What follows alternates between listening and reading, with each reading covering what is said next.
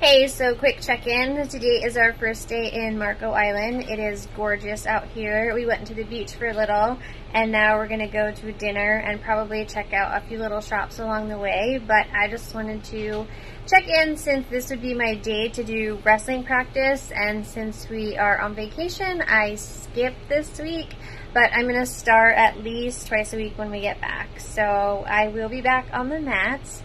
Um, just wanted to check in, and if you guys ever come to Florida, Marco Island is gorgeous, and the beaches are so beautiful. So, okay, I'll talk to you soon. Bye.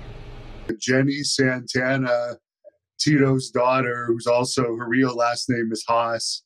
She's been talking to you that you might uh, wrestle around with her a bit in the ring because she's considering getting into pro wrestling.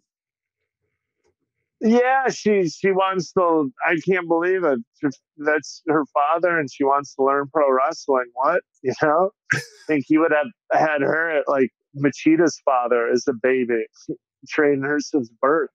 So uh, yeah, she's looking to get into some pro wrestling. I guess she trained uh, someplace here the other day with Hawk Kyle Hawk Jerry yeah. trained with Kyle. So um, and she just yeah. won the nationals in uh, BJJ, so she's an athlete.